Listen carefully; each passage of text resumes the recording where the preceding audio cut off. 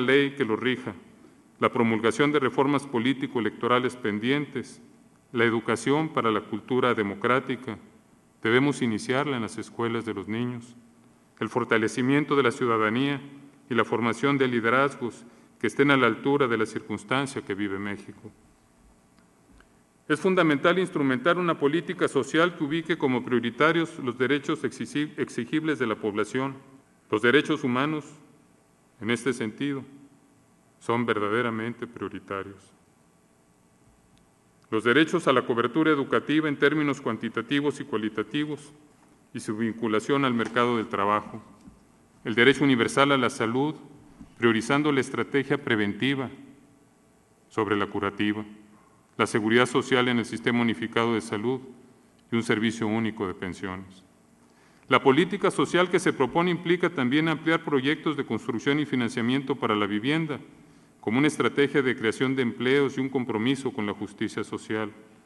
La reforma fiscal, la reforma fiscal solo se justifica si forma parte integral de la reforma social, la reforma laboral y políticas específicas de atención a los jóvenes. Es fundamental establecer el Estado de Derecho en México. En este sentido, legislar sobre la autonomía del Ministerio Público es fundamental para la correcta impartición de justicia. En México no existe una cultura de la legalidad. Necesitamos reformular el pacto social para aceptar el cumplimiento de las leyes que nos rigen. Necesitamos empezar por cumplir la Constitución y de nueva cuenta, brindarle vitalidad con participación ciudadana en algunas de sus instancias. Participación otra vez como estrategia de superación. La sociedad democrática solo se puede regir por un Estado de Derecho que norme la legalidad, sea referencia clara para la legitimidad y los derechos y responsabilidades sean respetados tanto por gobernantes como por gobernados. Más que Estado de Derecho, Estado de Derechos. El incumplimiento sistemático de la ley y la pérdida de credibilidad en las instituciones pone en riesgo la democracia, la sana convivencia social y el futuro estable de la sociedad. El Estado tiene como una de sus responsabilidades primordiales generar seguridad y hacer respetar la ley. El problema de la inseguridad ha crecido a niveles desproporcionados. Debido a la, prolongada crisis económica, la delincuencia ordinaria se ha incrementado al grado que los centros de rehabilitación social están sobrepoblados. Sin embargo, ha sido la delincuencia organizada la que ha incrementado sus actividades significativamente en los últimos 10 años. Los datos atribuibles al crimen organizado requieren trato diferenciado y son alarmantes. Se tiene registro de que estas organizaciones en México realizan 22 de las 23 acciones delictivas que les son propias. Solamente no se sabe que trafiquen con energía radioactiva. Después de Afganistán, Pakistán, Guinea Ecuatoriana y Nigeria, México ocupa el nada honroso quinto lugar en la delincuencia organizada. Me voy a permitir poner a su consideración la consulta de dos referencias internacionales promovidas por la Organización de Naciones Unidas para enfrentar a grupos delictivos. La Convención de Palermo, aprobada en el año de 2000, denominada Convención contra la Delincuencia Organizada Transnacional, y la denominada Convención de Mérida, realizada en el año del, año 2003. Grupos eh, y países, muchos países y muchos grupos participaron en estos análisis y finalmente han hecho propuestas que, si fuera posible ser consultadas, eh, pudieran enriquecer mucho el conocimiento sobre el tema. Mientras la economía, mientras la economía no crezca en forma sostenida, a largo plazo las opciones delincuenciales seguirán en aumento. Combatir el crimen organizado exclusivamente con estrategia represiva es una opción equivocada. La política exterior mexicana tuvo un desempeño destacado en el pasado. Sin embargo, en los últimos decenios se ha registrado un progresivo deterioro. No obstante, esta actividad ha de ser concebida permanentemente como política de Estado. Entre otras prioridades, por mutuo beneficio podríamos promover la actualización del Tratado de Libre Comercio, Asimismo, nos convendría definir en la dualidad nuestra relación con Estados Unidos y Canadá por una parte y nuestra proximidad con Latinoamérica por la otra. En lo referente al tema de la reforma migratoria, resultaría efectivo instrumentar una estrategia coordinada con quienes dentro de los Estados Unidos identifican la mutua conveniencia de promulgarla por razones de seguridad, conveniencia económica y beneficio laboral. El compromiso de México con la estrategia multilateral para contrarrestar el cambio climático deberá ser impulsado en, base al compromiso establecido en la reunión realizada en Cancún en el año del 2011. Finalmente, el compromiso de alcanzar las metas del milenio deberá estar permanentemente presente en el propósito de nuestro cumplimiento.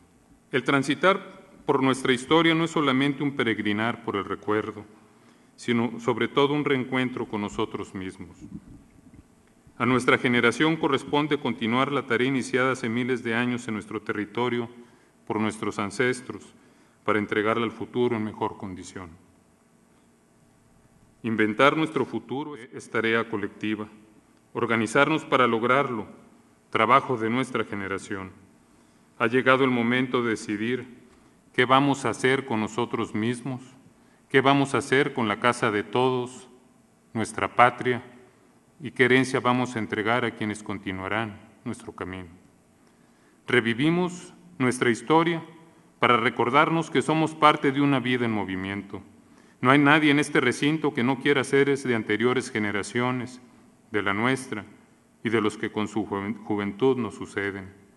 Hacia el pasado agradecimiento, con los del presente responsabilidad y con los del futuro compromiso y sentimiento. Somos un pueblo que integra contrarios, los convierte en complementos, genera vida para vivir cada momento. Somos un pueblo con enorme capacidad de resistencia y siempre proclive a comenzar de nuevo. En nuestro pasado hay grandeza y resistencia, iniciativa con imaginación y creatividad, justicia e injusticia, alegría con dolor y sufrimiento. Hay diversidad que nos enriquece, singularidad que nos define y visión del universo. Nuestra historia nos muestra que en el presente la responsabilidad es propia de nuestra generación. Nos exige en forma implícita un cambio de actitud individual porque la situación que hemos construido ni es la que soñamos, ni es la que queremos. Este cambio de actitud nos llevará a considerar a los demás porque los retos son enormes y solamente pueden enfrentarse con aliento colectivo. Necesitamos integrarnos con la sociedad para construir entre todos un gran proyecto mexicano que nos reporta, que nos reporte beneficio. Aquí en este recinto, donde el arte descansa en movimiento, sus vitrales nos dicen que todo lo que llega cambia a la velocidad de la luz para regresar mañana a decirnos que la vida continúa al presentarse renovada con su vocación perenne. Ha llegado el momento de decir que ya fue suficiente, que no queremos ser testimonios vivientes de un país que se nos muere. Sin embargo, nuestra historia también nos dice que de nosotros depende la esperanza, de nosotros depende decidirnos a participar, juntarnos con los demás mexicanos y decidir qué sueño vamos a transformar en realidad con nuestro esfuerzo compartido. Todos somos responsables de las instituciones que prevalecen y todos sabemos que es necesario transformarlas por el bien de México y de nosotros mismos. Todo cambio requiere sacrificio, sacrificio en el sentido vital, del profundo respeto al entregar nuestra energía a un proyecto que sea incluyente en los esfuerzos, promisorio en sus resultados y justo al repartir sus beneficios. Es tiempo de sumar nuestras energías a un proyecto verdaderamente democrático que incluya las directrices que los mexicanos hemos buscado a lo largo de nuestra historia y que persiga sin distracciones el bienestar colectivo. Lo hemos vislumbrado, escuchando en este foro a los conferencistas magistrales comprometidos con las mejores causas de nuestro país. Queda ahora construir, y es fundamental, Queda ahora construir la fuerza democrática que lo haga viable para retomar el rumbo que indebidamente hemos perdido. Al convocar a los mexicanos nos referimos en forma prioritaria a jóvenes, trabajadores, empresarios y pequeños empresarios, maestros, profesionistas, técnicos, mujeres, hombres, indígenas, adultos mayores. Todos somos necesarios para cambiar México. Estamos los mexicanos capacitados para lograrlo. Nuestra historia lo certifica y nuestro futuro lo confirmará. Vamos a retomar el rumbo que hemos extraviado, más bien dicho, que han olvidado los que sin respetar la democracia han abusado del poder y por, e, y por eso perdimos el sentido. La lucha por la independencia, la reforma liberal y la revolución están esperando su continuidad con nuestra generación. Es momento de ponernos de pie, iniciar la marcha, levantar la frente y encontrar el corazón de México que temporalmente hemos perdido. Que nadie piense que su aportación no es necesaria. Estamos en tiempo propicio. La transformación individual y el trabajo colectivo de nuestra generación marcarán la diferencia y quedaremos satisfechos porque la historia de nuestra época habrá de reconocer que sí cumplimos. Les agradezco mucho su atención.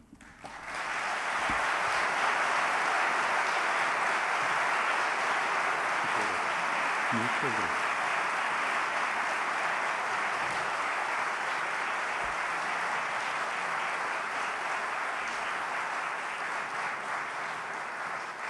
Agradecemos al maestro Miguel Ángel Gutiérrez por su brillante conferencia y le pido permanezca por favor en este, en este escenario. De igual forma, solicito de la manera más respetuosa a las siguientes autoridades subir al estrado. Doctor Jesús Sánchez Rodríguez, ingeniero Fernando Gutiérrez Moreno, licenciado José Ernesto Piña y a la doctora Estela Gutiérrez para entregar un reconocimiento a nuestro ponente invitado y continuar con la parte final de este programa.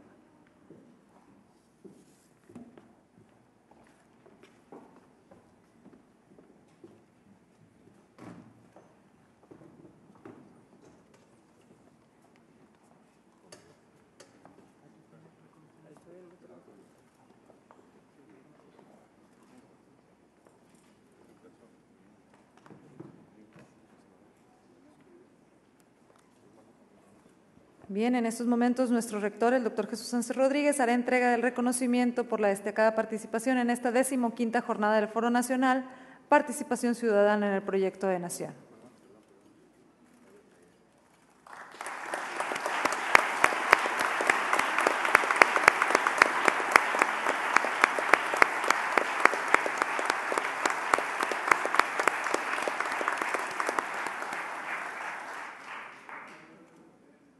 Muy pedimos a nuestras autoridades tomar asiento, por favor.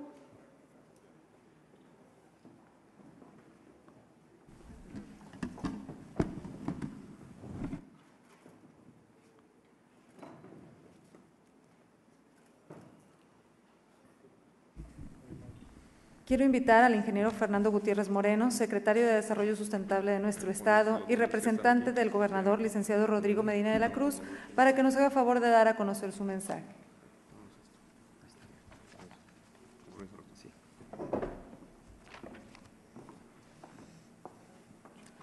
Muy buenas tardes a todos. Señor rector, doctor Jesús Sánchez Rodríguez, muchas gracias por la invitación y una felicitación por esta clausura de este, de este primer ciclo. Al licenciado José Ernesto Piña Cárdenas, que viene en representación del senador Eugenio Gobea Arco, bienvenido aquí a Nuevo León. A la doctora Estela Gutiérrez Garza, secretaria de Desarrollo Sustentable de la Universidad Autónoma de Nuevo León, le agradezco muchísimo la colaboración que tenemos con el gobierno del Estado y al maestro Miguel Ángel Gutiérrez Garza, eh, el, el, el, prestigio y la lucidez intelectual le viene de familia. Eh, le agradezco el, el, haber compartido estas reflexiones con nosotros. Eh, saludo también con afecto a los miembros del Congreso local, a los miembros de la Junta de Gobierno, al señor secretario general y demás autoridades que se encuentran aquí presentes, por supuesto a los académicos.